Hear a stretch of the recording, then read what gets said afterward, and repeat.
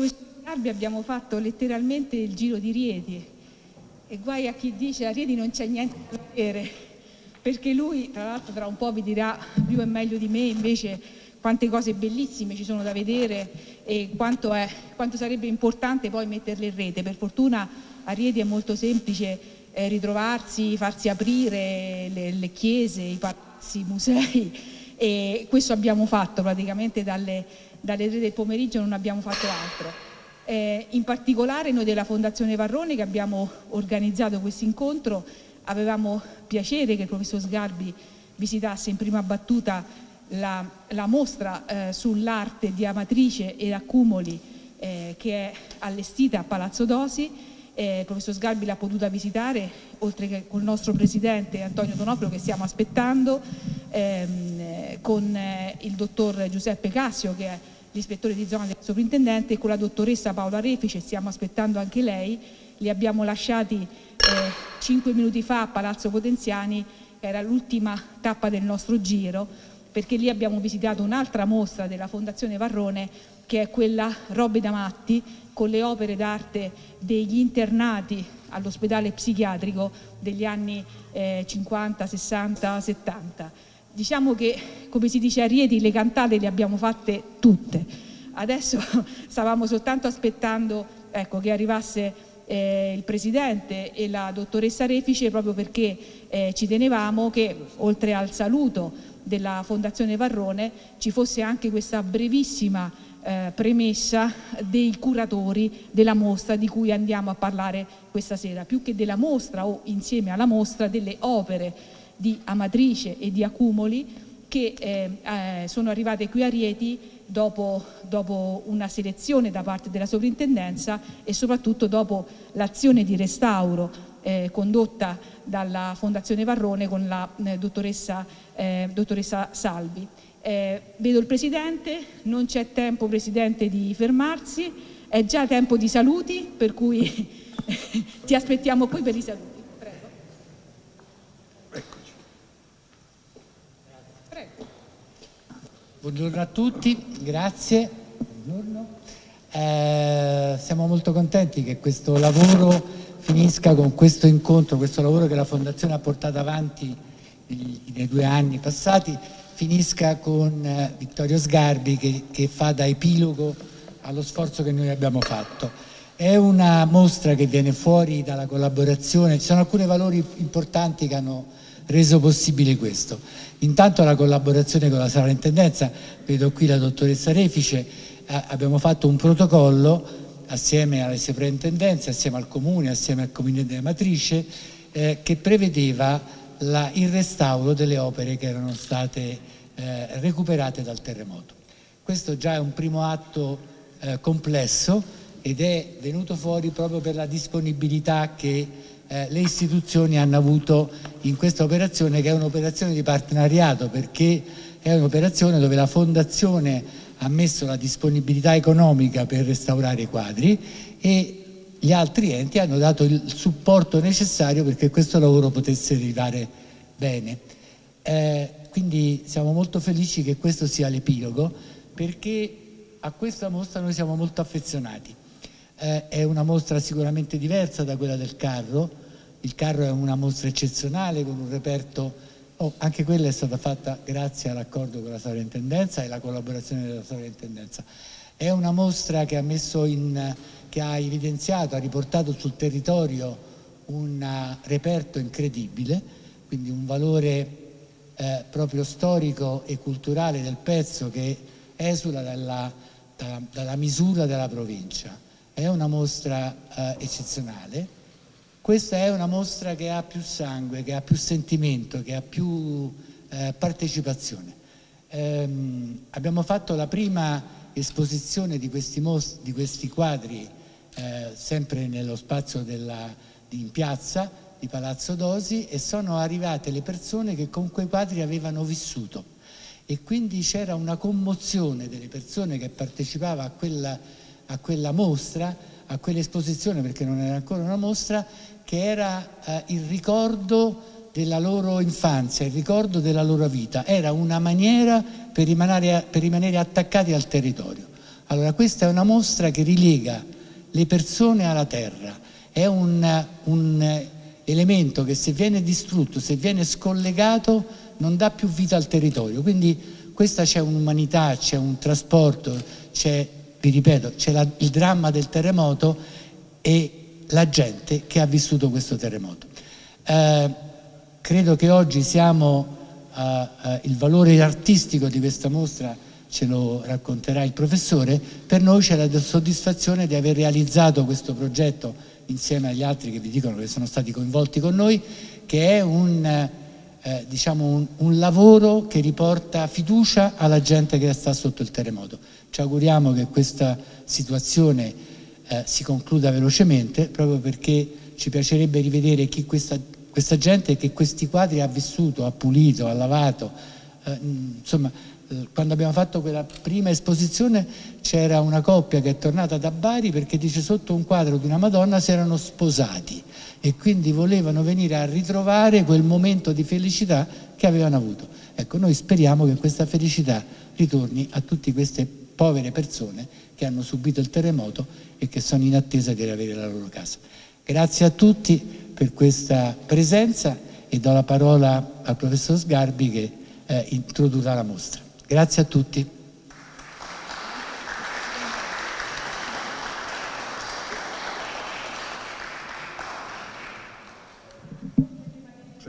Avevamo piacere di ascoltare eh, intanto la dottoressa Paola Refice che è stata sovrintendente eh, archeologia di paesaggio eh, prima delle province di Latina, Frosinone, Rieti, ora area metropolitana e provincia di Rieti professore Sarievi, non, non, ti puoi sottrarre perché non fosse altro per la, la, lunga consuetudine non solo con noi della Fondazione ma anche col professor Sgarbi.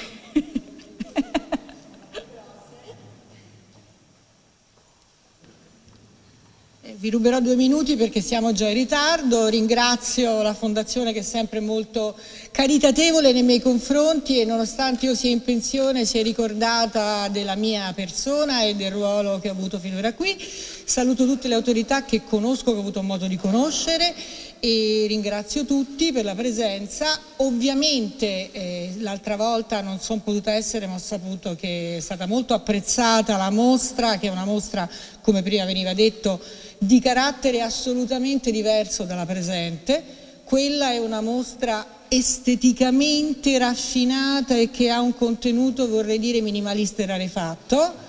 questa è una mostra eh, nazional popolare, vuole essere, quindi vuole essere una mostra in cui la gente si riconosce, mm, forse stiamo dando troppo peso a, al ruolo eh, della popolazione rispetto alle opere d'arte nel momento in cui non ci prendiamo l'impegno e non sappiamo che fine farà questa roba nel momento in cui la mostra finisce. Quindi questa è un'auto è un'auto diciamo, denuncia della pochezza a volte delle istituzioni rispetto al futuro del patrimonio. Comunque molti auguri a questa città e a tutto quanto il Reatino, io continuerò a seguirvi in modo sommesso quando mi sarà possibile. Grazie. Grazie a Paola Refice. Ci tenevamo anche ad ascoltare il dottor Giuseppe Cassio, che è l'ispettore della sovrintendenza qui della nostra zona e con la dottoressa Refice è uno dei curatori della mostra, quindi la conosce proprio come le sue tasche, come si dice.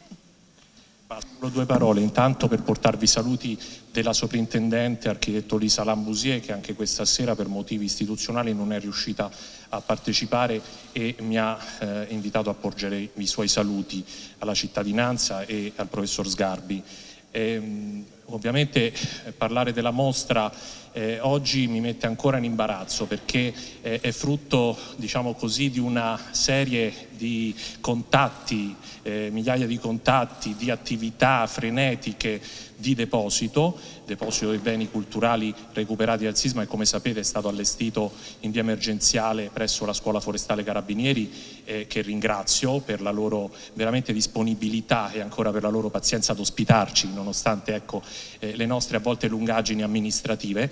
E, mh, è frutto anche della volontà di costituire una parentesi di sollievo Una parentesi di sollievo un po' per noi, un po' per le popolazioni provate dal sisma, un po' anche per quanti desiderano conoscere quella, eh, quel territorio così di frontiera, ma anche una sorta di agora culturale fatta di vari linguaggi, eh, scontri culturali tra Abruzzo, Marche, Umbria, Lazio, eh, che però si condensano tutte nella variopinta eh, costellazione di, eh, di, linguaggi e di culture che poi possiamo poi apprezzare all'interno della mostra. Non tutto è qualitativamente alto, ma tutto rappresenta eh, il territorio che eh, sente così proprio, così suo questo, questo enorme patrimonio che noi stiamo cercando di spolverare, di rimettere in luce, di studiare. Abbiamo voluto fortemente che la mostra fosse accompagnata anche da un catalogo che avete tra le vostre mani e che sarà l'inizio di un percorso nuovo, fatto di ricerca, fatto di studi, fatto di valorizzazione futura. Ecco appunto la valorizzazione è il percorso che stiamo avviando ora, dalla conservazione del patrimonio deve nascere una nuova parentesi. È vero che il patrimonio mobile arriva prima di quello immobile, però è anche pur vero che dobbiamo fare tutti gli sforzi perché poi questo patrimonio restaurato venga reso fruibile, anche seppur in spazi temporanei. Ne parlavamo poc'anzi anche col professore della necessità che le popolazioni del territorio non solo possano trovare in questo patrimonio la loro fonte di speranza e di sollievo. Spero che la mostra vi sia piaciuta, sia apprezzata, sia visitata. Solo la visita vale veramente tanto per il nostro sforzo, per quello che stiamo facendo tuttora, perché ci sono altre 100 opere ancora in corso di restauro grazie ai contributi del Ministero della Cultura. Mi piace anche dire che questa eh, iniziativa, questa iniziativa della mostra ha visto coinvolti pubblico e privato, eh, la Fondazione Varrone in particolare, il Ministero della Cultura nella soprintendenza territoriale, nell'Istituto Centrale del Restauro, nella Galleria Nazionale Barberini, tutti uniti per far sì che questo evento superasse un po' i particolarismi no? che ci vedono spesso e volentieri rilegati, ma fosse veramente un evento che ha un obiettivo comune. Allora credo che sia vincente, come ha detto eh, anche il ministro Franceschini visitando il Varrone Lab allestito eh, in piazza Arrieti, sia esemplare anche e soprattutto per le altre regioni che ci stanno guardando e stanno prendendo spunto proprio dal nostro, dal nostro esempio e dal nostro umile lavoro. Vi ringrazio, arrivederci.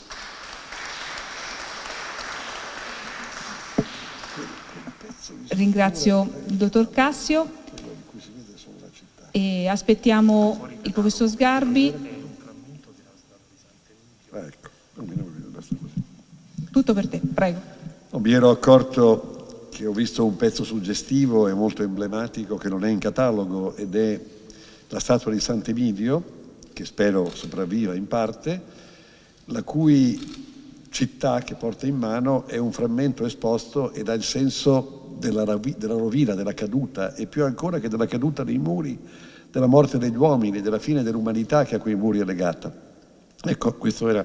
quello che avevo chiesto, non trovando il riscontro nel catalogo, all'ottimo curatore Cassio, che ha un nome d'antico romano. E la giornata di oggi per me è molto importante e fatta l'esperienza della precedente, in cui io sono arrivato puntuale all'appuntamento, ma non avendo visto la mostra e per responsabilità dei miei collaboratori non informato delle due mostre, dei due cataloghi, quindi diciamo, ho avuto l'intuizione di tardare un attimo per andare a vedere una mostra sublime, che è la mostra del carro, che soltanto alla visione di quelli rilievi formidabili di cultura orientale e di poca conoscenza anche rispetto agli studi degli archeologi mi hanno consentito di passare da una appassionata incompetenza, quale quella che io ho per l'archeologia, che mi metteva e mi buttava per richiesta del vostro presidente, del presidente della fondazione, a parlare di una materia in cui io eh, sono profano, sono un attento osservatore di musei archeologici, ma ho una particolare antipatia per la loro origine che nasce in gran parte dalle tombe, come ho detto, e non ho una competenza di archeologo. Però la potenza straordinaria della qualità di quel carro mi ha creato un effetto di contrasto tra l'incompetenza e l'emozione che mi ha consentito di dire alcune cose che sono, credo, state per quelli che mi hanno ascoltato, utili a capire come anche un occhio esterno può contribuire a dire qualcosa al mondo degli specialisti che nell'archeologia si muovono con una abilità chirurgica. E allora, preso atto del fatto che non potevo parlare di una cosa che non avevo visto, e fortunatamente ho corretto quell'errore, questa volta sono arrivato con molto anticipo e ho voluto vedere la mostra, quindi ne parlo eh, perché l'ho ben vista ed è materia di cui sono competente, trattandosi in larga misura di opere di età moderna. La mia competenza è una competenza specificamente legata al Rinascimento e al Seicento, però sono uno storico antico e di antica scuola che è curioso di tutta l'arte moderna, quindi quella che va da Cimabue fino a Calcagnanoro, per dire un artista che è legato a Rieti. Per cui su quello mi muovo come un, medico che ha diverse specialità e ho sempre eh, rifugito da una scienza iperspecialistica che ha condotto molti miei illustri colleghi, anche più anziani di me, a diventare specialisti di un solo pittore, naturalmente con curiosità, ma anche con una specie di dimensione di monopolismo culturale che gli ha resi per esempio necessari per alcuni autori come Guercino, che se non avesse avuto nel momento della sua ripresa di conoscenza, quindi della sua rinascita come artista importante dopo Caravaggio, la figura di Dennis Faun non avrebbe avuto l'importanza che ha. Quindi Dennis Faun ha dato molto a Guercino e molto ne ha preso, ma pensare che uno tutta la vita studia solo un artista era contrario al mio divertimento, alla mia curiosità, alla mia voracità, alla mia poligamia estetica. Per cui la mia dimensione di storico dell'arte è molto ampia ma poco specialistica. Con questo è invece totale eh, incompetenza o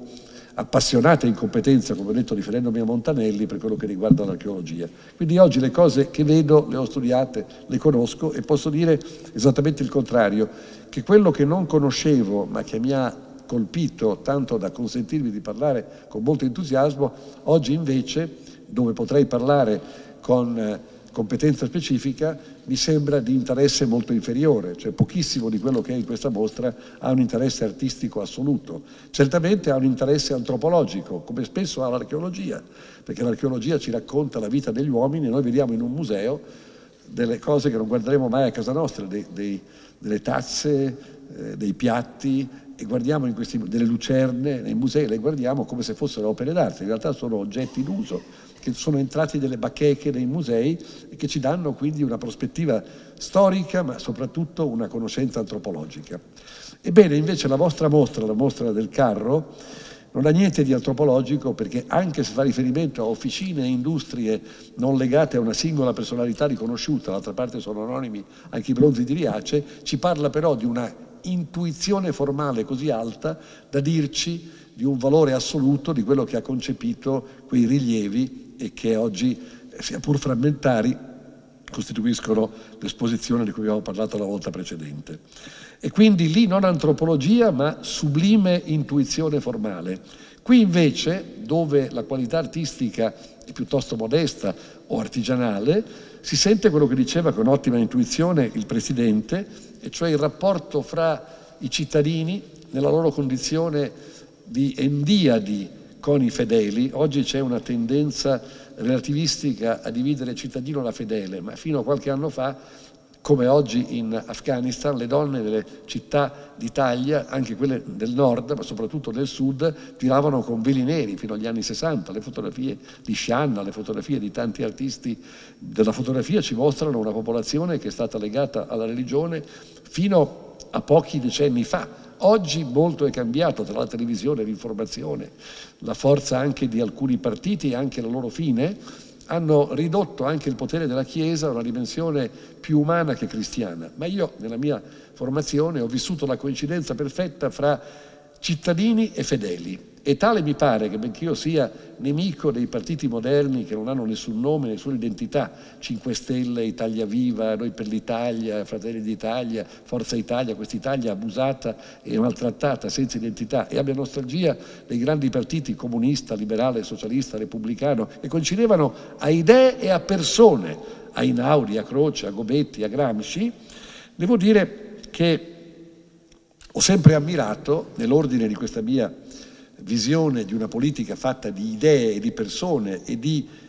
concezioni profonde, sentite anche in quelli che sono i terminali estremi dei partiti, cioè quelli che le rappresentano nelle comunità, nei comuni, non con questi generici nomi che hanno adesso e molti tradimenti inevitabili e spostamenti da una parte all'altra, la diaspora di Forza Italia verso la Lega è abbastanza malinconica, così capita di tutto, ma questo è di un'epoca di grande decadenza. Ma pensare che per 50 anni il partito di maggioranza si è chiamato Democrazia Cristiana, ci fa pensare a una visione laica di quel partito che laico era, fondato pure da Don Sturzo che era un prete, ma in cui l'aggettivo cristiano non è un aggettivo confessionale o fideistico, ma è un indice di civiltà. Non c'è civiltà più straordinaria della civiltà cristiana della sua lunga storia. E io che sono tendenzialmente un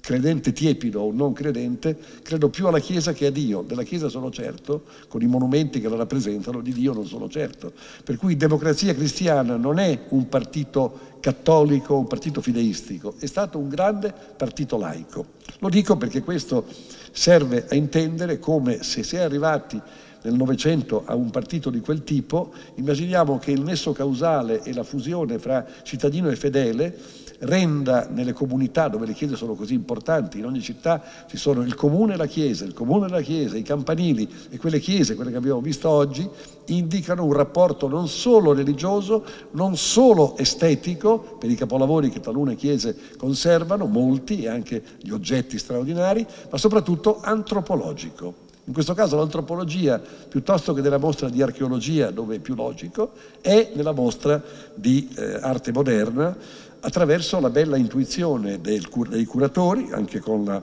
dottoressa Refice che ho conosciuto in altre sovrintendenze e di competenza e di eh, specialità legata al Rinascimento per quanto io ricordo, e Giuseppe Cassio che cercavano di giustificare la mia, non dico delusione, ma il fatto che non c'erano capolavori di particolare rilievo, e anche alcuni ve ne sono, nelle arti applicate, nelle arti industriali, li state vedendo, ma non c'erano grandi capolavori di pittura, e così in uno con il presidente Donofrio hanno detto appunto si tratta di una mostra in cui è importante il dato antropologico, il rapporto fra i fedeli cittadini di quei luoghi che oggi non ci sono più, caduti con il terremoto, ma che avevano un rapporto per quegli oggetti, che era un rapporto di fede intesa come appartenenza a una comunità e che sono venuti, come diceva Donofrio, a carezzare e hanno curato queste opere, le hanno sentite come un patrimonio della loro comunità, delle comunità di piccoli paesi intorno ad Amatrice e a cumuli di frazioni meravigliose che hanno motivato in me, quando ci fu il terremoto, conoscendo abbastanza quel territorio come conoscono gli studiosi che si sono occupati o hanno avuto molta curiosità, mi rendevo conto che quando vi erano per eh, luoghi come Norcia, dove San Salvatore è stata quasi abbattuta, ma affreschi meravigliosi, sentivi il rimpianto di persone che non c'erano mai state, era meraviglioso. Improvvisamente quello che nessuno conosceva, con il terremoto è diventato patrimonio di tutti, come i Buddha di Bamiyan, che abbiamo visto di più quando li hanno distrutti i talebani nel 2000. Sono cominciati a nascere quando sono stati perduti. Allora io sentivo persone... Eh, che triste quelle cose che non abbiamo... E non le avevano mai viste, rimpiangevano delle cose che non avevano mai visto, non c'erano mai stati, magari sia da matrice per gli spaghetti, ma non erano stati a vedere i capolavori che rimpiangevano. E quel rimpianto era un paradosso logico, perché era il rimpianto di una cosa non conosciuta, ma di cui avevi conoscenza quando era perduta, quando non c'era più. E questo ovviamente vale per tanti osservatori o giornalisti o visitatori o persone turbate nello spirito di italiani dalla violenza che ha colpito Amatrice, Accumoli, Arquata e i luoghi che ho visto subito, come ogni volta che c'è un terremoto, vado a vedere se qualcosa è sopravvissuto, e molto è sopravvissuto, e talvolta qualcosa è anche riapparso nel palinsesto della storia sotto i cumuli delle macerie. E però sentire le generiche dichiarazioni televisive, ah, sono perduti quei capolavori. Perduti perché? Non li avevi mai visti prima? Erano perduti anche prima per te. Capra, cioè non li avevi mai visti? Cosa hai perduto? Hai perduto quello che non sapevi di avere? Improvvisamente però si sapeva di avere quello che non c'era più. E questa è stata la mia lettura di tanti terremoti in cui sono andato sentendo il rimpianto di quelli che non avevano mai sentito nominare neppure. E allora in queste considerazioni anche paradossali delle reazioni che determina un terremoto, quella che ha descritto il presidente della fondazione è quella di un rapporto di familiarità affettiva, che non vuol dire soltanto fede, non vuol dire soltanto devozione, non vuol dire soltanto antropologia, vuol dire parentela con quello che tu vedi nella chiesa in cui sei andato tutta la vita a sentire le sante messe e quegli oggetti poi sono travolti dal terremoto e tu li ritrovi recuperati dall'ottima impresa della fondazione e li carezzi come quando trovi una persona cara o vai in un ospedale, perché ospedali sono i luoghi dove sono ricoverate queste opere che faticheranno a tornare nei paesi che non saranno ricostruiti, diventeranno musei diocesani, diventeranno sedi temporali, diventeranno luoghi come accennava prima Cassio che potranno essere per lungo tempo la sede di questi profughi che non hanno più casa. E però chi li ha vissuti, chi ha abitato in quei luoghi, li ritrova come trovassi in un ospedale un parente ferito che qualcuno ha curato e che ritrovi sano. Quindi da questo punto di vista non sappiamo dove andranno queste opere. Tu dicevi una località, hai detto che? Città Ducale, ecco, Città Ducale potrebbe essere un museo che concentra per 15 anni, per 20 anni, non so quanto sarà il tempo, pensando a quello che è capitato all'Aquila e ai modelli meravigliosi di ricostruzione non seguiti abbastanza come quelli del Friuli. Lì si è ricostruito in fretta e restituendo l'integrità ai luoghi. Qui mi auguro che lo stesso possa toccare la matrice accumuli, ma ho qualche dubbio vista la lentezza per l'Aquila e talvolta ho anche fatto delle polemiche del mio stile che voglio qui ripetere perché non erano polemiche diciamo antropologiche. E però così apparivano quando vedevo che l'Aquila non cominciava a ripartire, era molto lenta la ricostruzione, lo Stato tardava. E arrivava una fondazione come la Fondazione di Roma per la chiesa di San Biagio dei Falegnami, la prima riaperta dopo il terremoto mi è venuto di dire, beh è strano però perché evidentemente c'è una rassegnazione dei cittadini che non hanno spi- la spinta a dire allo Stato devi ripartire e sono più interessati a scoprire, c'era un procuratore che chiamava Rossini, se c'è l'infiltrazione mafiosa subito la cosa parte prima ancora che cominciano i lavori, cosa che è un pregiudizio della magistratura di cui parlerò per un attimo che valeva perfino per i terremoti. Ma in tutto questo, questa lentezza io non l'ho avvertita nella mia regione. Qualcuno di voi, fra i terremoti degli ultimi anni, dopo quelli del Friuli, dopo quelli dell'Aquila, dopo quelli delle Marche, dopo quelli dell'Umbria, dopo quelli del Lazio, di Matrice, di Amatrice e poi Lazio e Marche, che sono stati molto raccontati, ricorderà che c'è stato anche un terremoto in Emilia-Romagna, anzi in Emilia. Non se ne parla più. È stato rimosso. Perché la, e questo forse era razzismo della mia battuta, io ho detto perché lì c'è una così forte industriosità tra Lombardia, perché era un pezzo di Lombardia, ed Emilia Romagna, al di là delle amministrazioni politiche, sono talmente vitali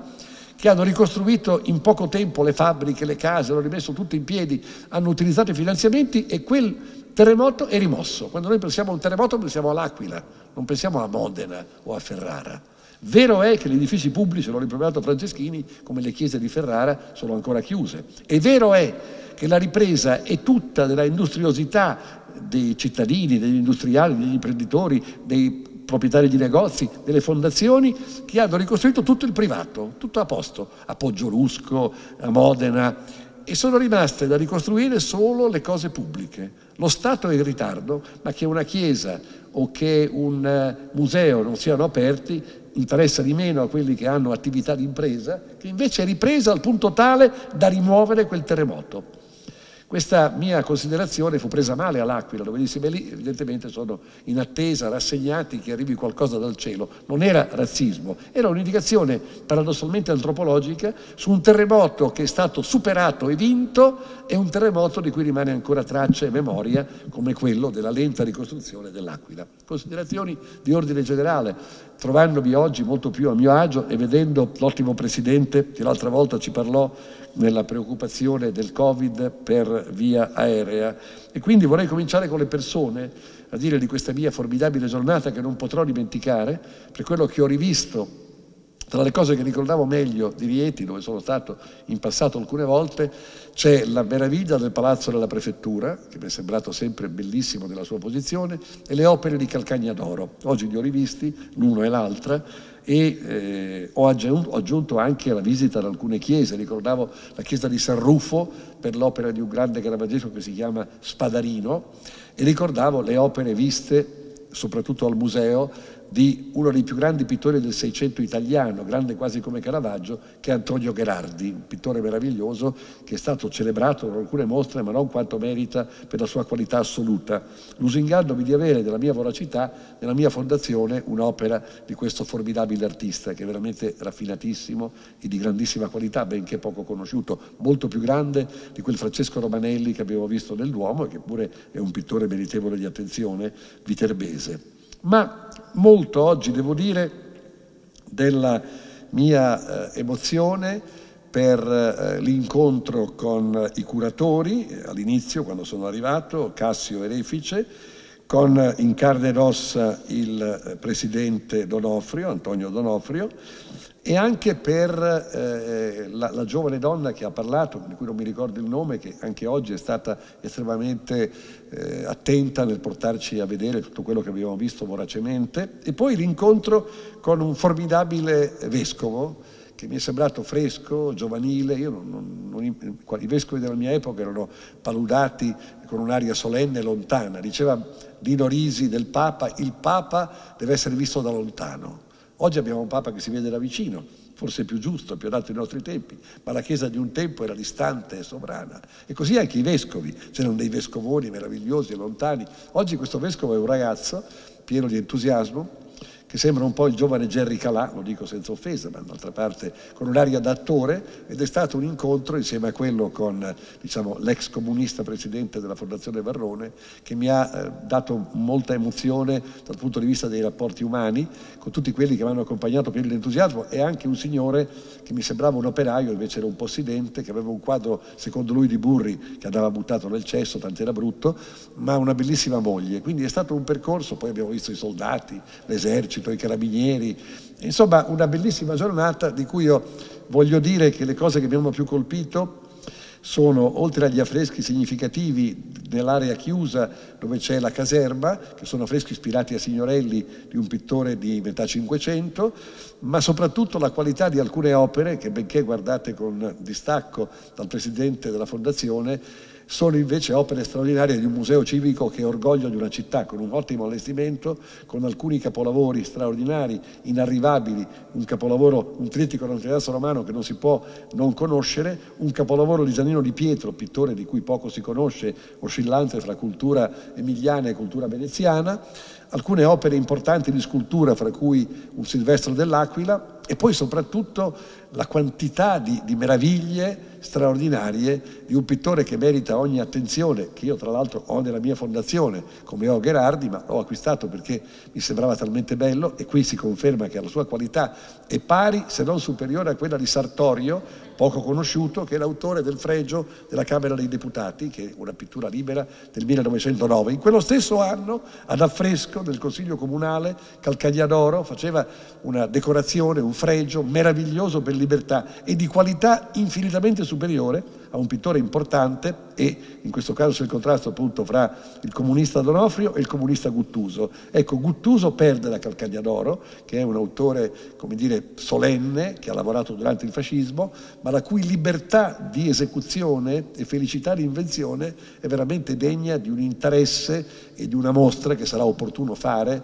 qui a Rieti o a Roma per onorare questo grande pittore degli anni 20-30, mi pare che sia morto nel 35, quindi ha, ha sviluppato la sua opera fra gli inizi del secolo e ancora durante il fascismo, ma un autore straordinario. Per cui per me è stato emozionante vedere queste cose, ripassarle e ritrovare alcune cose conosciute, altre come quelle viste nel Palazzo del Vescovo, che sono affreschi staccati di scuola giottesca provenienti dalla chiesa di San Domenico, di altissima qualità, in congiunzione fra l'arte toscana, quindi Giotto, e l'arte romana, quindi Pietro Cavallini. E quindi è un tema importante, si è discusso anche da parte di Federico Zeri e di eh, di Zanardi, Bruno Zanardi il restauratore, che addirittura gli affreschi di Assisi, quelli di San Francesco della Basilica Superiore, non siano di Giotto ma siano di Cavallini. Non credo che sia una interpretazione che va presa alla lettera, però qui abbiamo il punto di congiunzione fra scuola romana e scuola toscana, negli affreschi importanti che dovranno essere restaurati, che provengono dalle diverse chiese e anche quella di San Domenico, recuperata con un tetto che lo ha rimessa in sicurezza, ma con un'illuminazione criminale da arrestarli tutti. Hanno messo l'illuminazione alla periferia urbana e, e, questo evidentemente è un errore del, della, del, progettista. Ma insomma emozioni straordinarie e al culmine di queste emozioni, più o meno contemporaneamente, prima che io vi riporti la mostra, la volontà eh, giusta del Presidente di portarvi a vedere robe de matti,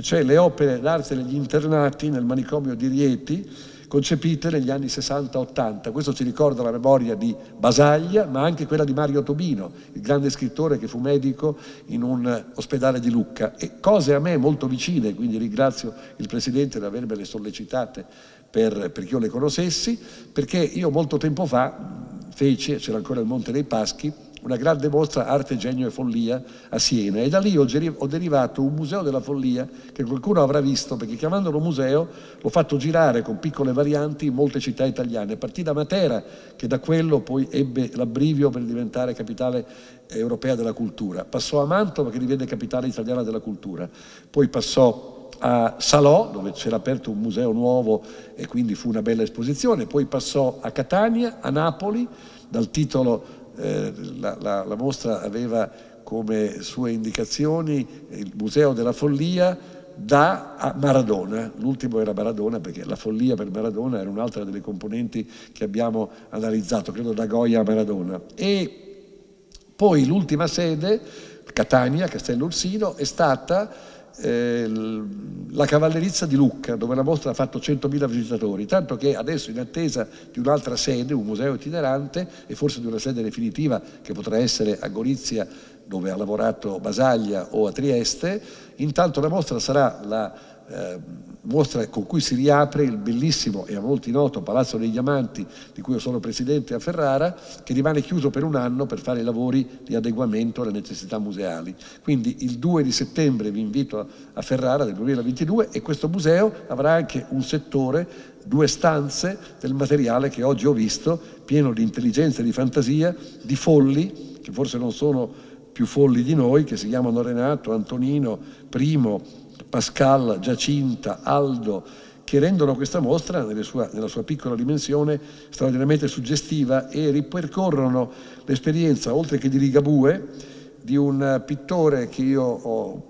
studiato anni fa, che si chiama Tarcisio Merati, che stava in manicomio a Bergamo, che era libero del manicomio, perché quando usciva dal manicomio le sorelle gli facevano fare degli oggetti da vendere al mercatino, quindi lui preferiva essere libero in manicomio che schiavo delle sorelle. E poi Carlo Zinelli, che è diventato uno dei grandi maestri dopo Ligabue, studiato da Vittorino Andreoli, di cui abbiamo recuperato a Trento una serie di 126 disegni fatti da lui, maestro oggi riconosciuto, monografato e studiato, dopo Ligabue è il più noto di questi pittori, ma con altri eh, diciamo 80 disegni fatti dai suoi compagni di sventura in manicomio, qualcosa di molto simile anche per diciamo l'attitudine mentale che evidentemente costituisce una coinè di chi sta nel manicomio che ha una esecuzione molto eh, facile, molto eh, infantile, ma una fantasia molto libera. Brevetto esamina pensiero, Pittoni, Sesto Renato, eccolo qua. E osserverete insieme alla semplicità anche qualcosa che richiama addirittura Clé. Quindi diciamo che da questo punto di vista questa mostra è per eh, i reatini certamente un motivo di grande eh, sensibilità eh, e presa d'atto di un mondo creativo nella costruzione del manicomio. Siamo arrivati quindi alla mostra, ma prima di eh, arrivare alla mostra vorrei dire di un'altra ragione per cui ricorderò questa giornata. Non c'entra niente con eh, il Presidente, con gli amici curatori, con la mostra, con Robe De Matti, con le chiese, c'entra con l'Italia. Io sono stato, così come con Roma, quando ho combattuto contro la denominazione che l'ha mortificata da Roma a mafia capitale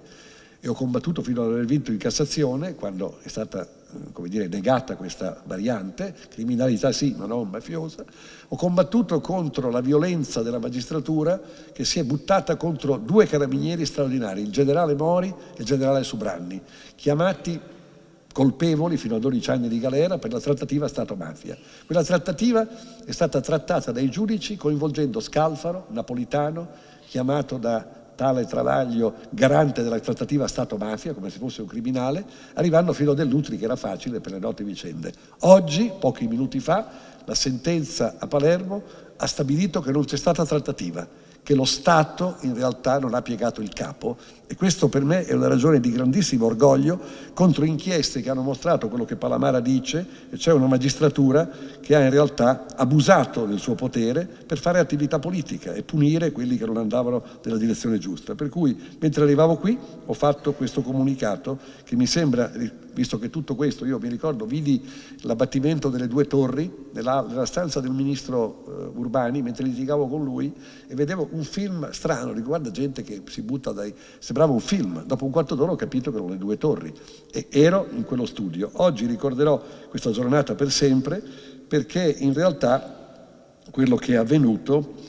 eh, io ero a vedere, stavo avviandomi ai matti e quello che è avvenuto mi, è, mi sembra degno di memoria. Lo Stato non tratta, ho scritto, non trattò per Moro, non ha trattato per la mafia. La giornata di oggi dovrà essere ricordata come giornata di vittoria dello Stato. Onore al Presidente Scalfaro, al Presidente Napolitano, al compianto Ministro Conso, che fu umiliato, un grande uomo, al Ministro Calogero Mannino e a quanti sono stati infangati da un'inchiesta criminale dalla quale oggi escono a, testa alta il generale Mori, l'ufficiale del Carabinieri Giuseppe De Donno e Antonio Subranni, il senatore dell'Utri. Questo processo è stato un processo illegale, illegittimo e contro lo Stato, che ha rifamato l'Italia, come che ha rifamato Roma con l'assurdo epiteto di mafia capitale, dovrà pagare sul piano morale e sul piano penale. Il processo contro i traditori dello Stato comincia oggi. Onore ai valori servitori dello Stato, i carabinieri Mori, Di Donno e Subranni. Credo che questo meriti da parte nostra la certezza che lo Stato non ha trattato. Ecco, quindi una giornata memorabile, l'entusiasmo di questa mia vittoria, perché io naturalmente pensando che avessi chissà quale ragione politica. Io eh, sono entrato in politica prima di Berlusconi, ho combattuto Di Pietro, che oggi è mio amico, certo non per fare un favore a Berlusconi, convinto che l'invadenza della magistratura avesse limitato l'azione politica e oggi ce lo dice Palamara. Fui l'unico a votare per, per non eliminare l'immunità parlamentare, che non vuol dire l'immunità per i criminali, vuol dire la difesa della politica, tant'è che da allora è vero che hanno condannato qualcuno, ma molti hanno assolti e hanno cancellato i partiti, sono spariti i partiti. È un atto di violenza culturale il fatto che è stato cancellato Partito Comunista, Partito Socialista, come vergognandosi di quelle sigle. Questa è la misura di una violenza che ha cancellato dei valori della storia. E oggi questa è un'altra giornata memorabile per dare dignità a Napolitano, a Scalfaro, a Conso, che sono stati trattati come se avessero trattato con la mafia. Ebbene, questa che mi è molto cara è la conclusione di una lunga premessa per dire che la mostra che ho visto è una mostra in parte delle cose che ho detto in cui noi procediamo vedendo, bello il titolo, oltre una sorte avversa, e soprattutto creando il pathos di quelli che non sarebbero mai andati a vedere quelle chiese, ma che una volta che quelle opere sono state recuperate come fossero persone, e più, lo so, mi rendevo conto parlando con l'amico Testori che una persona è più importante di una cappella di una, è vero, e quindi la sofferenza che io ho provato per la distruzione di alcuni capolavori d'arte supera in me in maniera colpevole la pietà per la morte degli uomini. E d'altra parte però le opere d'arte sono anch'esse viventi e testimoniano civiltà che abbiamo alle spalle. La morte di una persona può essere molto grave e terribile per i suoi, ma non sempre ha a che fare con la storia. Le opere d'arte hanno a che fare con la storia, con la memoria. E diceva però Testori, in una dimensione cristiana, eh, è più importante la vita di un bambino della Cappella Sistina. Vi pongo davanti a questo dilemma. Se ci fosse un terrorista con un bambino in mano che dice o butto giù la cupola o gli affreschi di Michelangelo nella, nella Cappella Sistina, o distruggo questo bambino, uccido questo bambino, probabilmente avremo più del 50% che sarebbero per distruggere la Cappella Sistina. Non so chi ha ragione,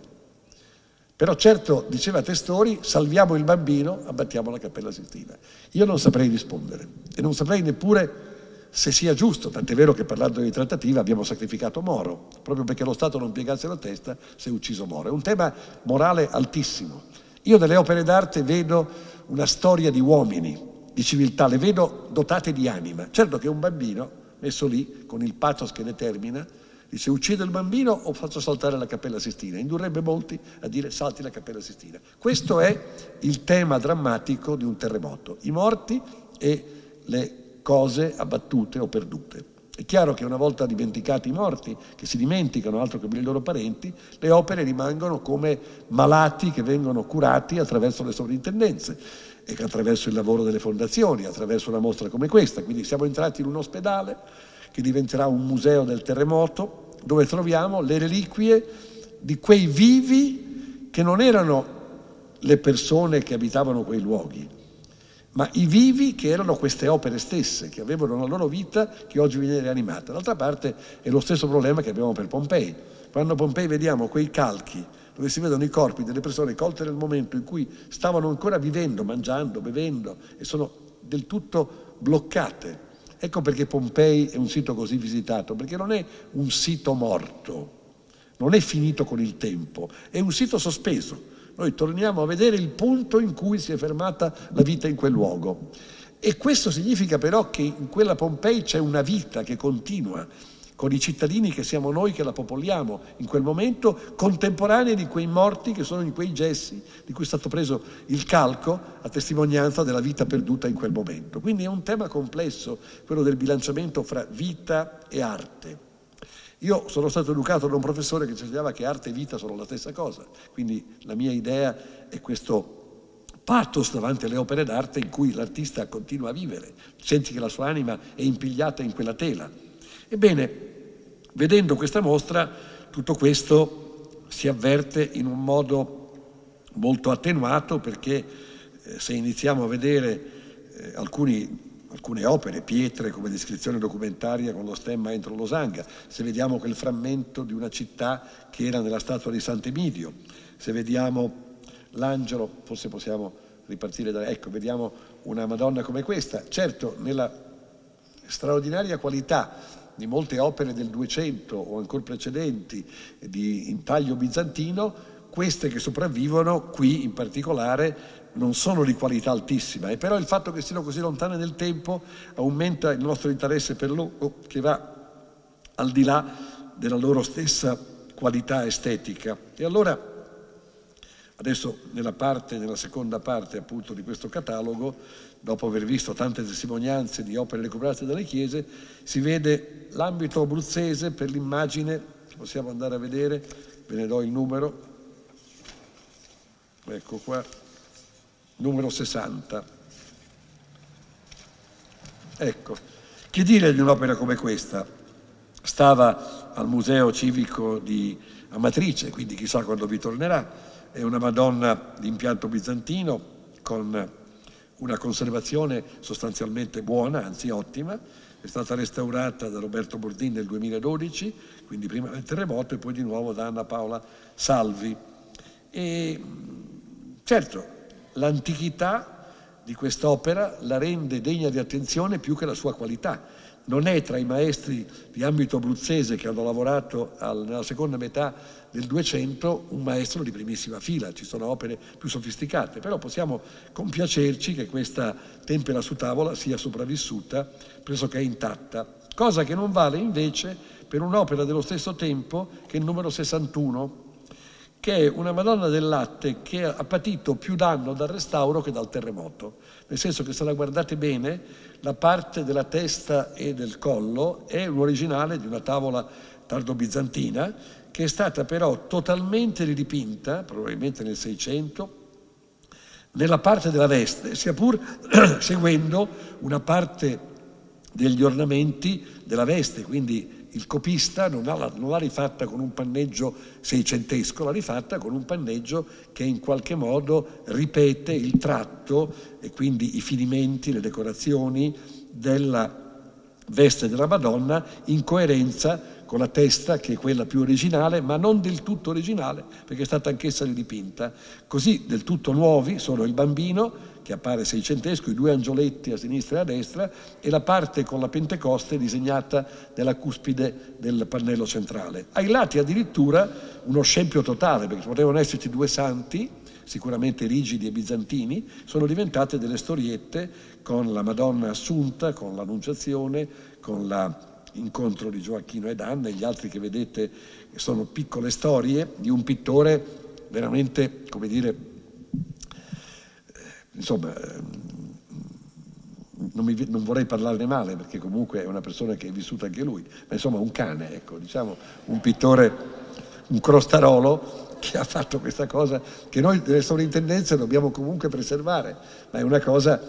veramente inqualificabile. E però tutto questo è, è dentro una struttura, è una scatola che è quella di un trittico eh, tardo bizantino, romanico potremmo dire, abruzzese del secolo XIII. Ne rimane quindi la configurazione formale, la misura in due pannelli totalmente ridipinti e anche il pannello centrale che pure mantiene una rigidezza propria dell'epoca, cioè diciamo romanica, è totalmente ridipinto. Ecco perché esso si può connettere, immaginando come potesse essere, all'immagine numero 60. Quindi la parte centrale doveva ricordare questa ed è diventata 61 invece questa cosa un po' più eh, pomposa, 61, del panneggio della Vergine, mantenendo però la rigidezza che poi nei due scomparti si è totalmente perduta facendo queste storiette che avete visto.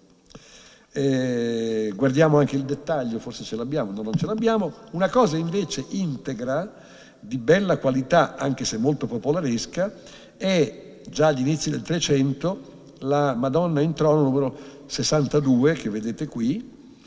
che è stata recuperata nel 2016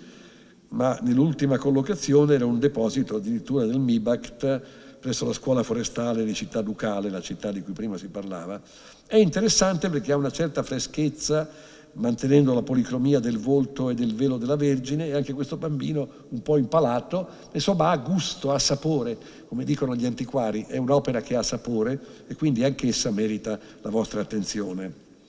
È interessante vederla, per me che ce l'ho qui prima del restauro, guardando, eh, eccola qua, ve la faccio vedere, prima del restauro era stata totalmente impataccata diventando una Madonna devozionale priva di ogni interesse. Quindi il restauro in realtà le ha restituito una verginità che aveva perduto. Vediamo cos'altro ancora. Un'altra opera che poteva essere, numero 63, interessante, è questo trittico eh, consibile a quello precedente, ma totalmente ridipinto nel panneggio, nella veste della Vergine, viene da un luogo che io stesso non avevo mai visto, che Pinacco Arafranca, che è una frazione di Amatrice, quindi pensate quanti luoghi dove non si erano mai andati, nessuno è mai andato a vedere queste opere, oggi esse sono ragione di attenzione,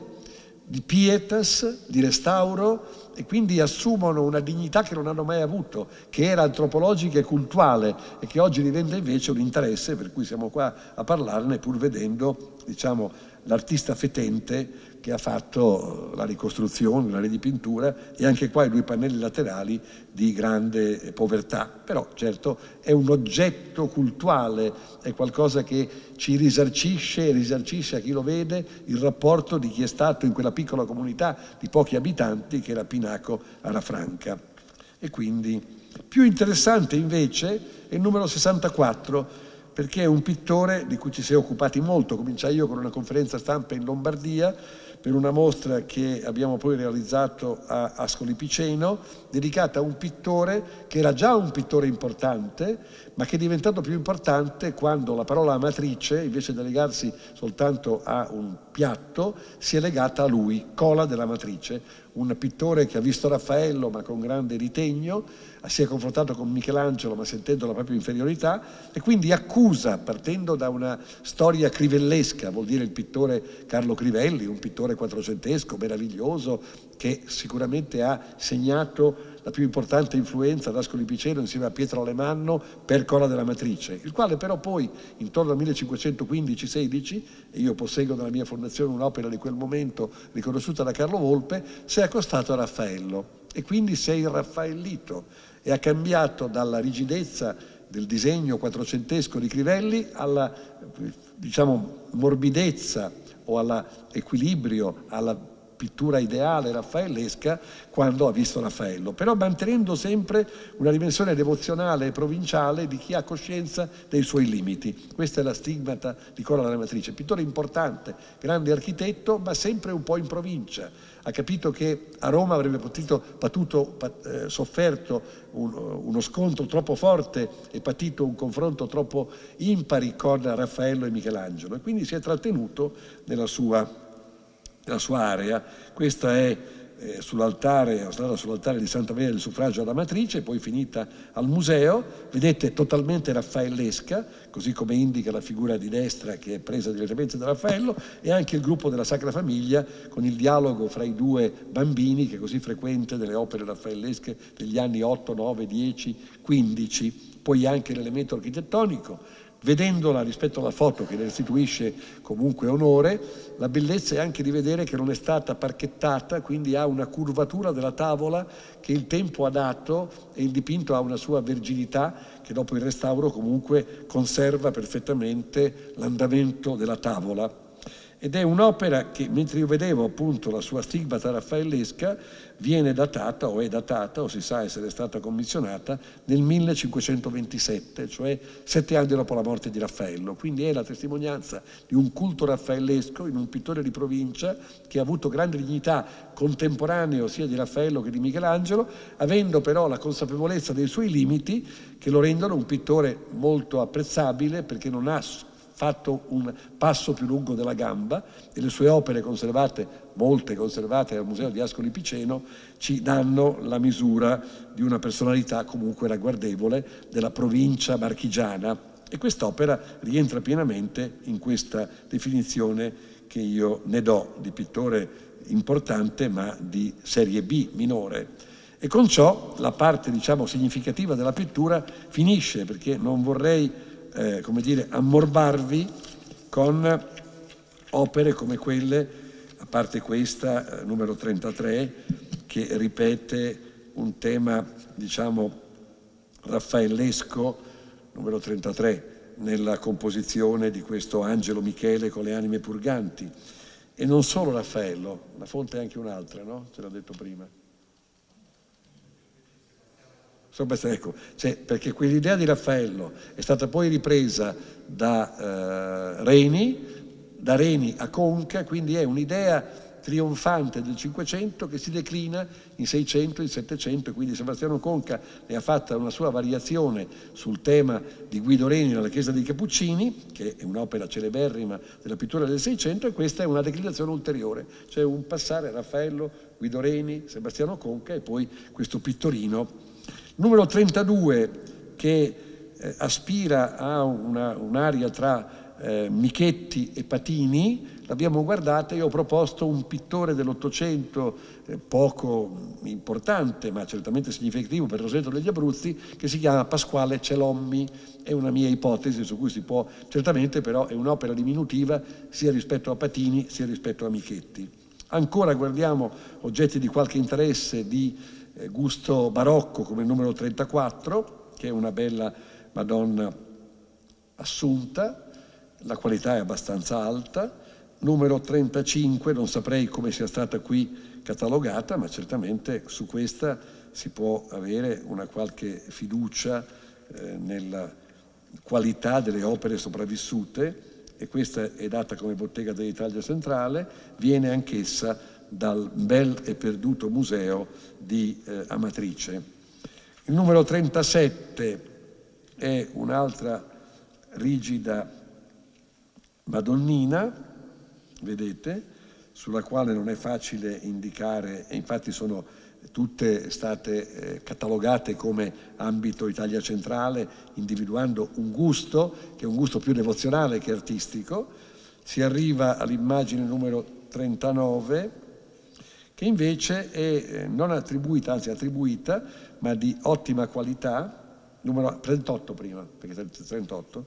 è un'opera, no non ce l'abbiamo, eh, potevate metterla, non ce l'avete, è una bella opera attribuita a Ricciolini che ha una buona qualità, è un'opera devozionale che è tra quelle che hanno maggiore diciamo, dignità artistica in questo gruppo, più della 39 che invece è stata selezionata tra queste immagini, che accertata forse da documenti a eh, San Giovanni, eh, nella chiesa di San Giovanni di Accumuli, anzi nella frazione di San Giovanni, nella chiesa di San Giovanni eh, con questa eh, immagine di Gesù Cristo Salvatore e il pittore deve essere riconosciuto e documentato perché anzi firma quest'opera e la successiva ed è Giovanni Antonio Valentini. Quindi su questo abbiamo un elemento di accertamento eh, documentario. Cominciano poi oggetti devozionali molto divertenti e graziosi, soprattutto per le mamme, che sono una serie di bambini, non so quanti ne abbiano qua, qui vedo il numero 40, vediamo qual è, eccolo qua, vedete, e poi ancora 41, 42, 43,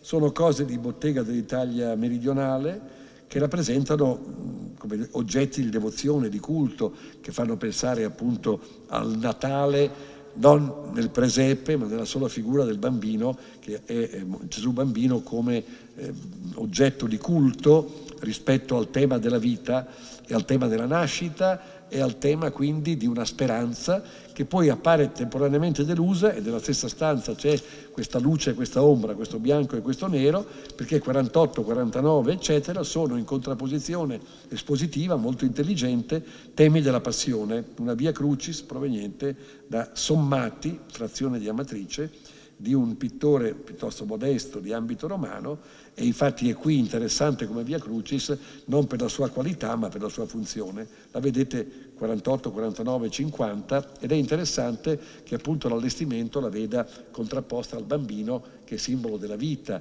della speranza, della figura di Gesù che qui invece vedete nell'immagine numero 50 55, se l'abbiamo,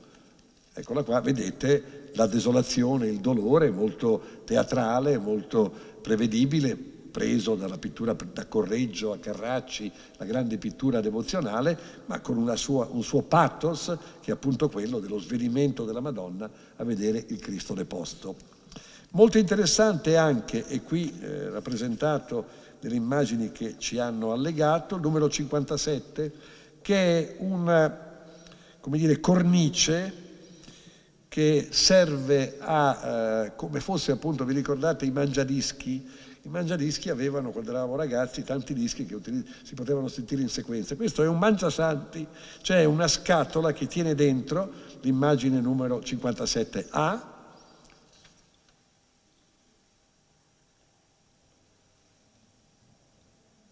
57A, 57B, 57C, 57D, 57E, 58. Sono immagini devozionali nell'ordine San Carlo Borromeo, l'Assunzione della Madonna, la Trinità adorata dai Santi, San Paolo Apostolo, Sant'Antonio da Padova, che a seconda della cadenza del loro anniversario venivano messi in evidenza dentro questa scatola, che quindi è una cornice ampliata che diventa un mangia santi sostituendoli di volta in volta da San Carlo Borromeo. Quindi immaginate che quel contenitore, cioè il numero 50 7, 57, sia la scatola che ogni volta viene, cambiando e girando l'immagine, a incorniciare solennemente il santo che viene qui eh, celebrato. E in tutto questo eh, l'idea di una come dire, volontà dell'architetto che si chiama Nibbi, il quale eh, ha eh, disegnato eh, la, la, chiesa e poi eh, ha dipinto tutti questi, Carlo Nibbi ha dipinto tutti questi santi d'ordine di San Padre Paolo Antonio da esporsi la vigilia, festa di San Pietro di San Paolo come suo legato trascritto nella sagrestia. E quindi ha dipinto queste opere perché fossero avvicendate nell'occasione delle diverse occasioni religiose. Qui lo vedete interessante in questa immagine, vedete il fianco del contenitore che ha tutte le scansie, proprio come il mangiadischi, per contenere questi santi. Ecco, eh, ancora vediamo che cosa ci hanno allegato. Abbiamo visto più o meno tutte le immagini, le immaginette dentro questa bella scatola cornice. Chiudiamo con un ex foto numero 59 che segna prima della serie di quelle opere romaniche, di quelle opere duecentesche che abbiamo appena commentato, la fine di queste presenze di arte devozionale, quindi di memoria di qualcosa che ha a che fare con un santuario, in questo caso la Chiesa delle Grazie di Prato, frazione di Amatrice, dove appunto c'è l'ex voto di una persona che ha ottenuto un miracolo e prega la Madonna, grazie a Gesù. C'è qualcosa di molto gustoso, di molto popolare. Talvolta queste opere di ex voto sono più stimolanti come quelle dei matti, perché eh, non hanno eh, la Kursvollen, la volontà di essere opere d'arte, opere religiose molto rispettose di iconografie, ma raccontano qualcosa che ha l'aneddoto, il divertimento di quello che è accaduto, del piccolo miracolo locale per la grazia ricevuta. Quindi qui è accaduto qualcosa che riguarda forse il crollo di una casa e quindi l'intervento della Madonna è per eh, aiutare, oggi capita il contrario, ieri parlavo con Draghi perché sono venuti da me, altro tema contemporaneo di grande preoccupazione, da eh, Casal di Principe e altri luoghi della campagna ritenuta camorristica dove persone che non hanno fatto niente, vedono abbattute le loro case perché sono abusive. Il magistrato anche lì abusa del suo potere, perché una volta che tu appuri che non l'ha costruita il, il camorrista, non è che cacci la gente di casa e i bambini per strada per dare l'esempio che butti giù delle case che sono brutte come quelle autorizzate. Il problema dell'abusivismo edilizio e della violenza, faccio un incisivo, delle, degli ultimi anni al nostro patrimonio è che noi abbiamo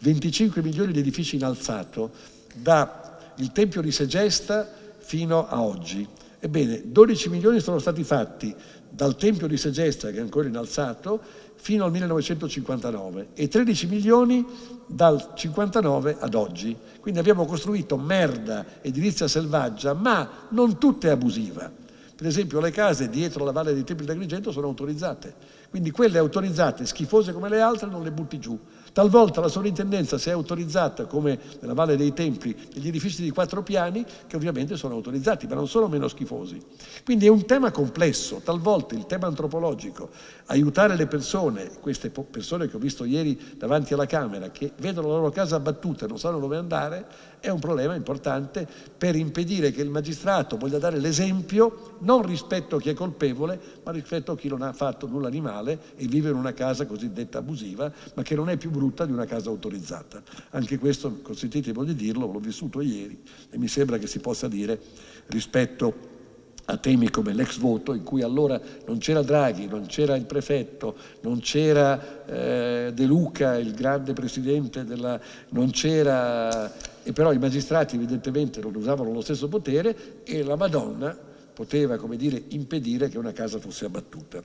Commenti sulla devozione perduta. Ma chiudiamo questo excursus che eh, mi pare sia stato abbastanza eh, esauriente, eh, vedendo le cose che invece hanno pregio artistico di questa mostra meno importante di quella del carro, ma pur essa, insieme al suo portato antropologico, eh, ricca di cose che eh, per una ragione o per l'altra, quella antropologica, quella devozionale, quella del recupero dei malati qui curati, ha invece anche una dignità artistica, come dimostra il dipinto numero 9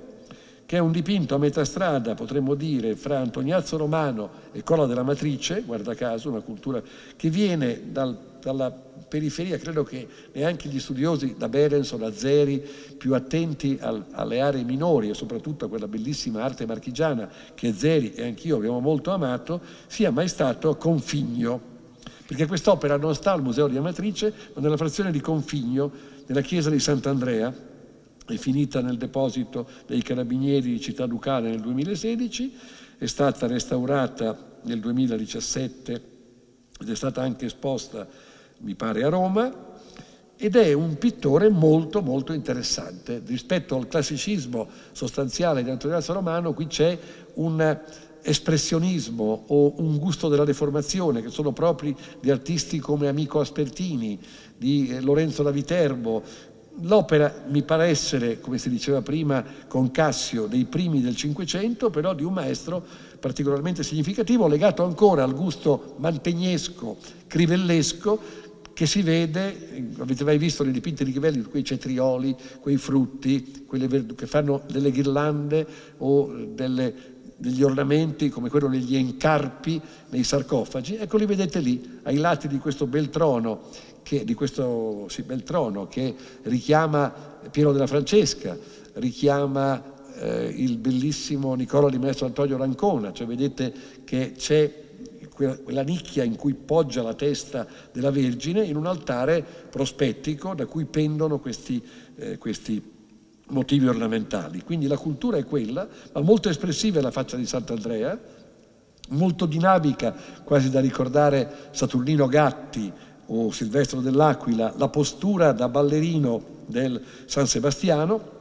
unica immagine di uno maschile della eh, diciamo, devozione cattolica o cristiana che desume le sue fogge, la sua forma, la sua bellezza come segno della, della peste in cui due santi, uno interviene e prende lui la peste ed è San Rocco, l'altro invece è il simbolo della purezza, della sanità che neppure le frecce possono ferire ed è una traduzione cristiana del pagano eh, Apollo, è l'Apollo cristiano e vedete che ha quest'aria ed è oltretutto, non è una battuta, anche il patrono del mondo gay, perché appunto è un nudo di un uomo che è infilzato dalle frecce e non soffre ma gode. Quindi in tutta questa dinamica il pittore qui ha scelto un'interpretazione un po' ballerina che rende la sua figura particolarmente originale. Il volto così deformato della, della Madonna è pure, è pure, significativo, quindi credo che questa sia un'opera, compresa la sua cornice originale, che merita molta attenzione. E qui comincia, come dire, eh, la, eh, i, i fuochi d'artificio, la parte più importante della mostra, l'euforia della mostra, la, la esaltazione, i fuochi artificiali, con una serie di bellissime croci più belle queste sì di quelle ospitate nel Museo Civico di Rieti, che pure ne ha una bella serie, e una di queste, di queste croci, è dipinta su tavola ed è potentemente giottesca, meriterà di essere studiata, dipinta su due lati, è il pezzo più significativo di quella bella stanza dove vi sono le croci nel Museo Civico. Ma qui vince la mostra perché le quattro o cinque croci di altissima qualità esposte nella mostra oltre una sorte avversa, consolano della visita e rappresentano la parte apicale dell'esposizione. Sono questa croce processionale che viene anch'essa dal Museo Civico e veniva dalla chiesa di San Fortunato, dove si vede numero 10, speriamo di averla, eccola qua, se riusciamo a zoomarla, si vede la meravigliosa eh, plastica, soprattutto del Cristo. Ci sono intorno, mi pare di vedere, le immagini della Madonna, di San Giovanni, di un altro santo vescovo che sta in alto e che qui non riconosco, e in basso di, eh, credo, la Maddalena. Ecco, guardiamolo, vediamo, ecco, vedete la qualità, qualità altissima d'esecuzione e potentemente eh, quattrocentesca, salvo che nel Cristo che ha una memoria addirittura alla Giovanni Pisano, quindi ancora trecentesca, ma evidentemente nella orificeria la, diciamo, eh, calettare i tempi come facciamo con la scultura è un po' diverso perché ci può essere un ritardo psicologico, visto che qui siamo nel 1490, ma il gusto con cui l'orafo eh, lavora è altissimo per qualità e si manifesta in modo particolarmente significativo nella figura del Cristo al centro che abbiamo visto. Dall'altra parte il santo potrebbe essere Sant'Emidio che sta eh, nella parte superiore. L'altra croce è anch'essa la matrice di qualche tempo prima, numero 11, vediamola. Siamo già all'11? Ecco. Anche qui facciamo uno zoom per vedere come ancora più pisanesco sia il corpo del Cristo, di qualità molto alta, e anche qua abbiamo in una giusta composizione il Padre Eterno in alto, la Madonna a sinistra, San Giovanni a destra e il Vescovo in basso, come è più giusto rispetto alla postura del, del, del vescovo dell'altra croce. Anche questa sta a, a matrice e a quello che leggo, perché evidentemente chi l'ha studiata avrà fatto la verifica anche di molti dati, dei bolli, dei punzoni, eccetera, databile tra 1450 e 1460, che è una data più, diciamo, giusta per una croce di questa fattura.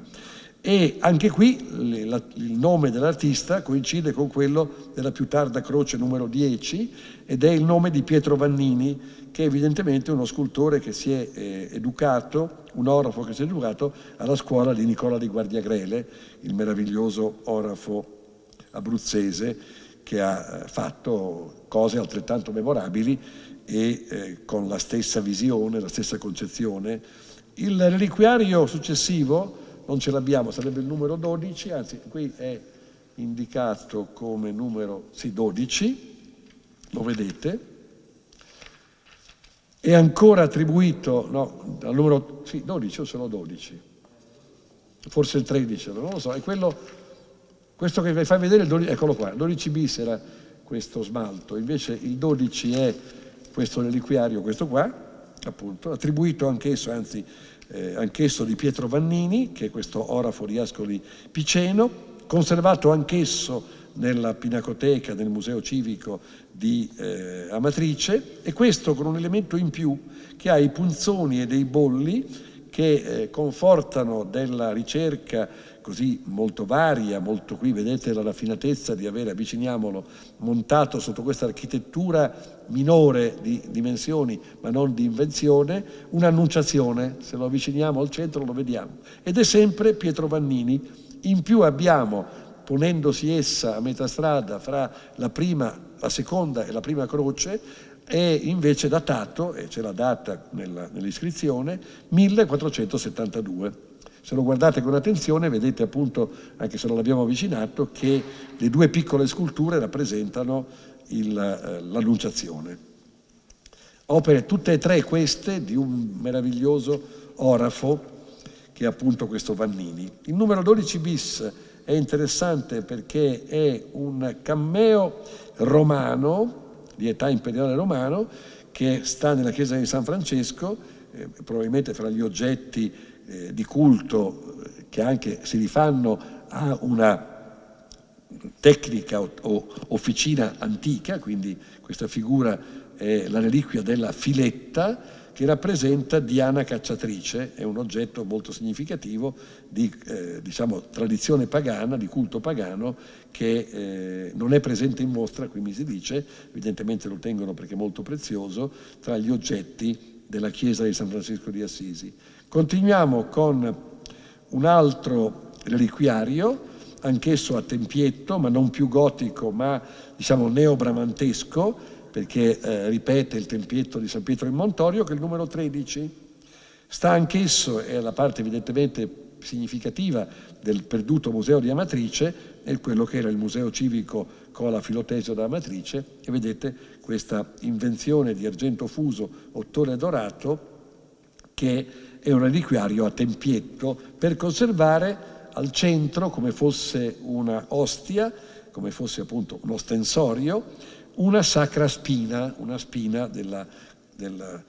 della corona di spine di Cristo. Lo vediamo, ecco lo vedete da vicino. L'architettura è particolarmente pregevole perché ripete appunto lo schema di Bramante a San Pietro in Montorio. 15, 16 e 17 sono di non particolarissima importanza, la più bella che non c'è qui nella serie di immagini è la 14 che è un calice del eh, 600 con il corallo di eh, Trapani, dove c'è la tradizione del corallo, eccolo qua, lo vediamo, per fortuna, è un pezzo prezioso e più ricco di corallo che di argento parzialmente dorato, mentre spesso il corallo si distribuisce in un equilibrio con la parte metallica. Qui invece eh, ha esondato, ha abbondato il, eh, l'artista del, del, che usa il corallo e lo ha completamente fasciato di coralli, molto insolita da questo punto di vista quest'opera. Ancora di bottega romana interessante perché reca la data 1612 ed è sempre nel patrimonio del perduto museo di Amatrice, questo calice che è un calice austeramente numero,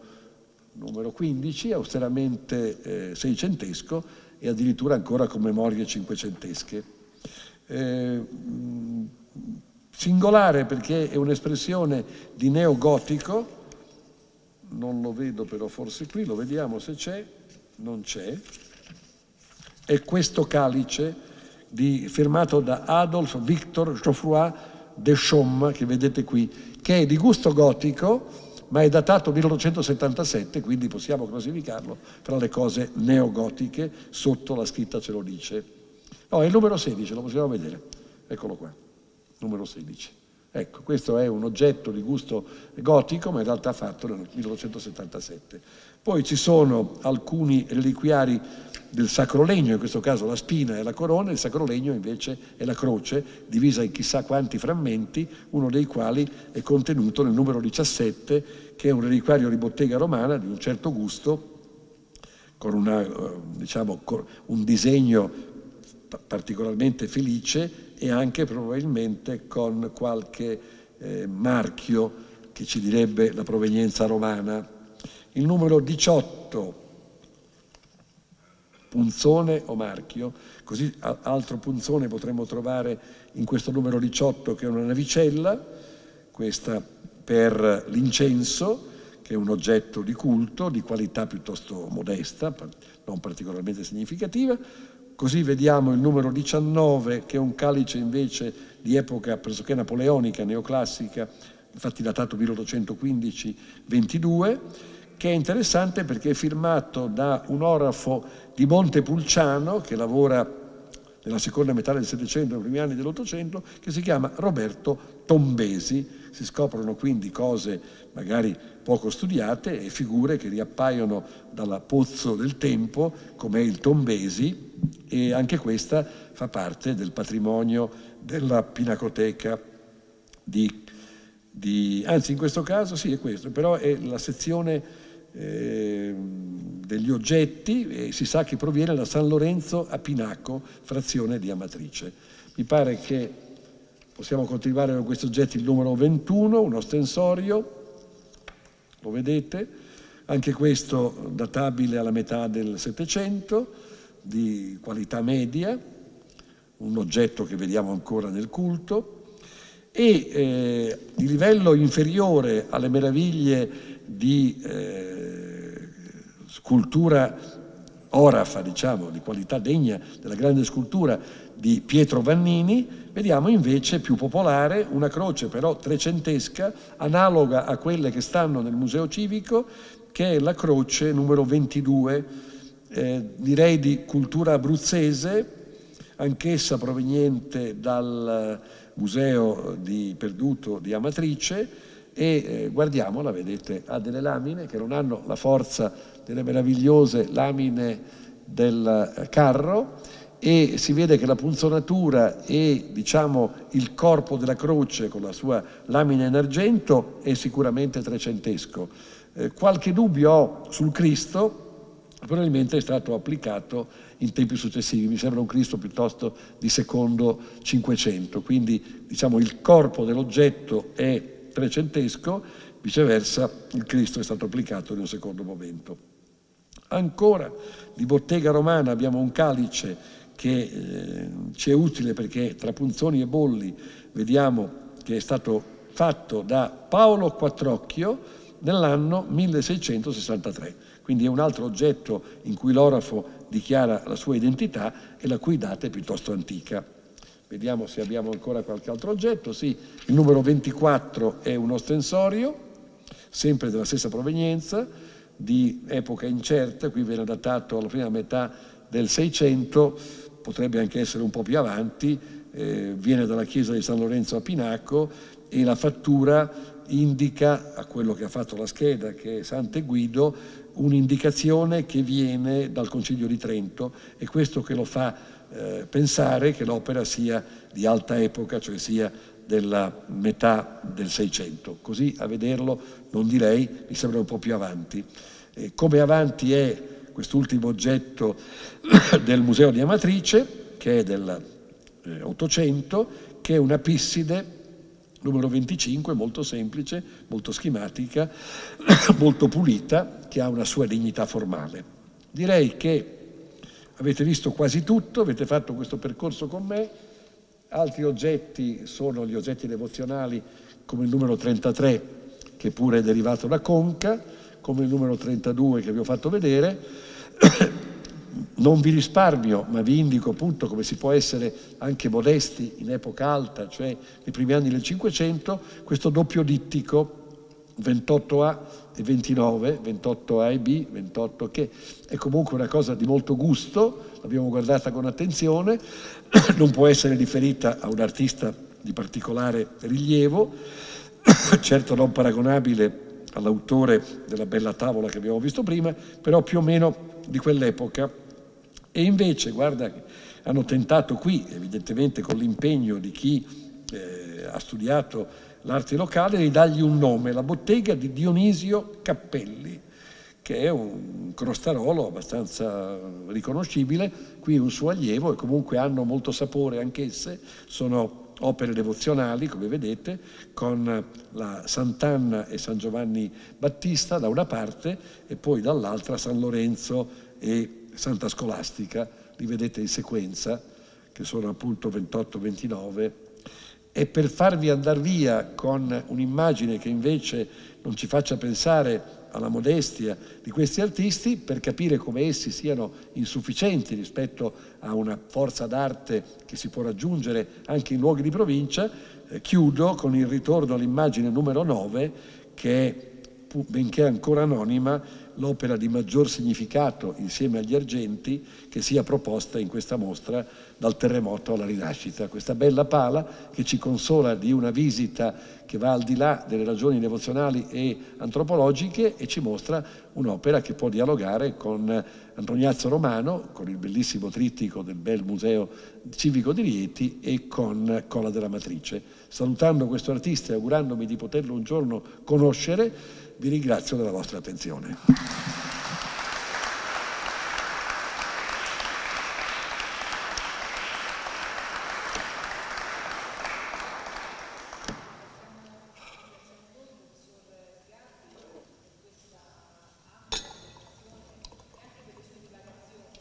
Eh, davvero, davvero, interessanti, soprattutto eh, per, sua, per, questo suo sguardo eh, davvero attento su, sulle realtà che, che e considerazione. In particolare, ehm, siccome molti ce l'hanno chiesto, ehm, volevo intanto preannunciare che è intenzione della Fondazione Varrone riaprire quanto prima anche la mostra che abbiamo a Palazzo Potenziani, Robe da Matti. Vedo qui il dottor Maglio Paolocci che ne è stato l'ideatore e il curatore, quindi eh, lo volevo anche in questo eh, rassicurare, ma soprattutto volevo dirlo al pubblico che anche che ci segue da casa, adesso con la diretta social e radiofonica, ma poi ehm, questo incontro andrà anche su RTR nei prossimi giorni. Eh, sapevamo che eh, anche con Robbe Damatti avremmo, avremmo toccato un, un, tasto sensibile col professor Sgarbi e non sbagliavamo. Eh, naturalmente eh, il focus per noi in questo momento rimane sulla matrice il compimento di questa operazione, oltre a quella di, di, di, di, ristabilire o di mantenere un legame delle popolazioni col territorio, era anche un altro, eh, ed era quello di mantenere alta l'attenzione dell'opinione pubblica eh, eh, anche diciamo così, nazionale su Amatrice e accumuli e non ricordarsene solo ormai con gli anniversari. Eh, anche questa credo che sia il compimento di questa intenzione della Fondazione perché avere qui il professor Sgarbi e avere una dissertazione così puntuale eh, sulle tante opere in mostra in questo momento a Palazzo Dosi eh, credo che sia davvero un contributo anche a, questa, a questo bisogno di attenzione che quelle zone hanno, eh, di attenzione, di vicinanza e, e davvero di conoscenza eh, magari non saranno tutti capolavori, ma quello che si respira in quella mostra è davvero una, uno struggente senso di, di, di memoria eh, di qualcosa che in questo momento non c'è più, che forse ci sarà ancora, ma senza questo retroterra eh, sarebbe privo dell'anima che invece eh, serve per rigenerare quei territori prima ancora che ricostruirli. Questo era il nostro scopo. Ringraziamo il professor Sgarbi che ci ha aiutato in questo percorso. La mostra è, sarà aperta ancora per tutto l'anno, la manterremo aperta anche per il periodo natalizio, la chiuderemo il 9 gennaio,